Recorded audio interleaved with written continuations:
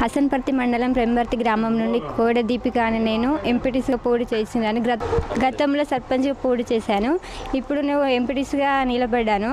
మా గ్రామ ప్రజలందరూ నాకు ఎంతో సహకరిస్తున్నారు గ్రామ అభివృద్ధి కోసం నేను కృషి చేస్తానని తెలియజేస్తాను మా గ్రామ ప్రజలు పెద్దలు కుల సంఘాలు మహిళా సంఘాలు అందరూ నాకు ఎంతో సహకరిస్తున్నారు. అభివృద్ధికి సహకరిస్తానని తెలుపు గ్రామ ప్రజలందరూ నా బ్యాటి గుర్తుకు ఓటేసి గెలిపించగలరని కోరుతున్నాను.